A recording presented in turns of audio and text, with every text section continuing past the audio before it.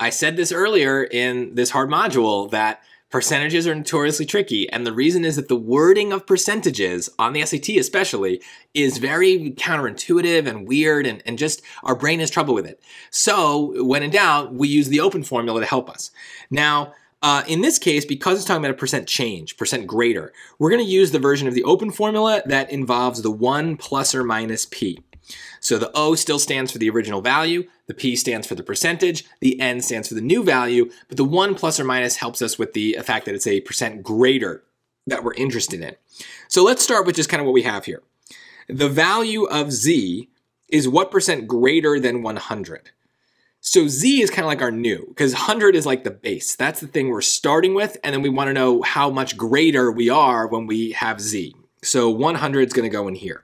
We also know that it's going to be 1 plus because it says percent greater. So just follow the, the story here. And that also helps us put the 100 in the right spot because we don't we don't want to reverse it. Percentages are not reversible. If it says percent greater in the question, we're going to have a 1 plus in our formula. So just stick with that. And then we know that z is greater. So we should probably have our z over here on the new side. And then the p is what we're going to solve for, right? Because that's that's kind of what they're asking.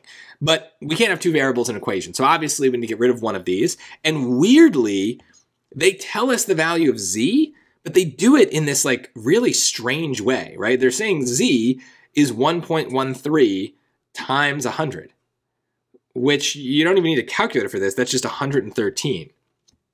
Why do that? There's really no reason. Why not just say z is 113?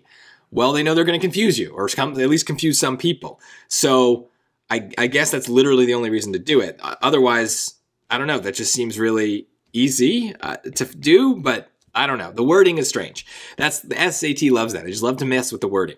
So now, though, we have all the pieces we need. We can solve for um, p just by going through the normal steps of algebra. Let's divide both sides by 100. We could also multiply it in, but I'm going to do the, the division. So that's 1 plus p. Actually, let's get rid of those parentheses now. 1 plus p is equal to, well, yeah, 1.13, right? I mean, we could use the calculator again, but we, we just divide, we just multiplied 1.13 by 100. So if we divide by 100, we're going to get back to 1.13. And, and maybe this is where it comes down to like, they're hoping you get confused by all that. Um, now, though, we got to make sure that we actually solve for p, so we have to subtract 1 from both sides, and we get p is 0.13. Now, that's not an answer because remember, the percentage in this formula is expressed as a decimal. Pretty much every time we work with percentages in math, we use a decimal version. So we have to convert this back. And that means that 0.13 is really 13%. That is what we've been asked, and that is the answer here. So it's weird it, the math here is not so bad.